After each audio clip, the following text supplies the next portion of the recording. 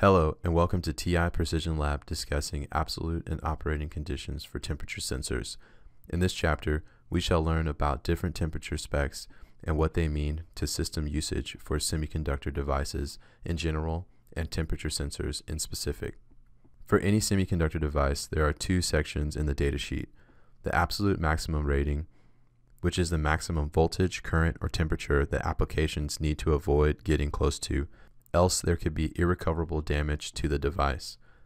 The recommended operating condition, which is the set of conditions, i.e., voltage and temperature, and external components, if applicable, for which device datasheet parameters shall hold good. This is generally established by means of characterization or simulation. When picking a device for a particular system operation, it is necessary to look at the conditions that the electrical parameters are specified for. As an example, the output parameter of a device may be specified at a supply voltage of 3.3 volts and ambient temperature of 25 degrees Celsius. To better understand the concept of absolute maximum and recommended operating conditions, let's look at the example a bit more closely. We will take the example of the supply voltage specified here as V plus on the operation of the device. In the first case, the device is operating in the recommended operating range of 1.4 volts to 3.6 volts. Under the circumstances, the electrical specifications provided in the datasheet shall be met. In the second case, let us assume that transient spikes occur on the supply voltage. The transient spikes cause the device supply voltage to exceed the maximum specified in the recommended operating conditions. In this example, 3.6 volts, but below the absolute maximum rating of 4 volts.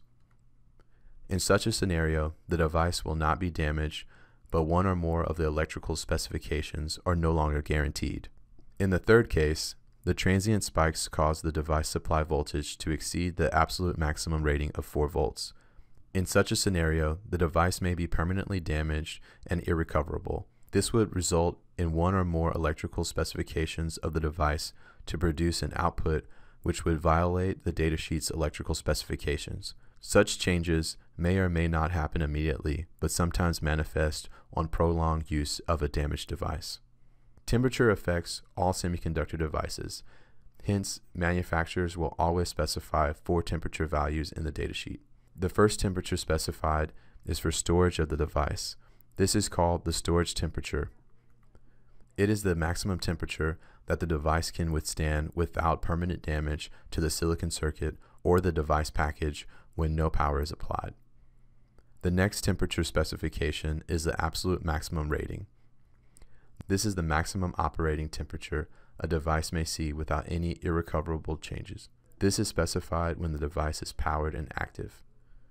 The ambient temperature, or TA, is the free air operating temperature that the device may be subjected to with the device still operating as per the datasheet parameters.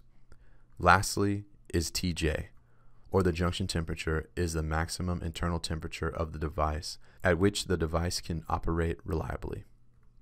While each temperature specification is important for a reliable operation of an IC, junction and ambient temperature need to be carefully considered when designing a system. As we have seen, heat flows from high or relatively low temperature.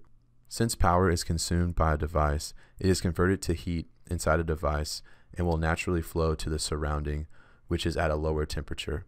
The heat flow is often characterized in data sheets as thermal resistance or theta and may be represented with an equivalent electrical circuit as shown. In this equation, P represents the power dissipation by the device as heat. Depending on the system, there can be variations of the thermal mode. As an example, consider a device with a heatsink, where heat is transferred to the surrounding air through several material interfaces. The thermal resistance of these interfaces comprise of theta AJ of the system. These interfaces are typically the die to package, theta CJ, package to heatsink, theta CS, and heatsink to air, theta SA. Translating this to our context, Junction temperature may be calculated by knowing the ambient temperature and using the power dissipation of the IC.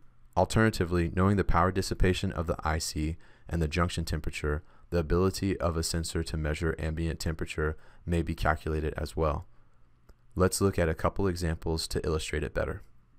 In temperature sensors, the junction temperature is measured, so when making an ambient temperature measurement, it is important that the delta between the ambient and junction be minimal. As an example, let's take the recommended operating condition for a particular temperature sensor. For this device, the ambient temperature is 125 degrees Celsius max.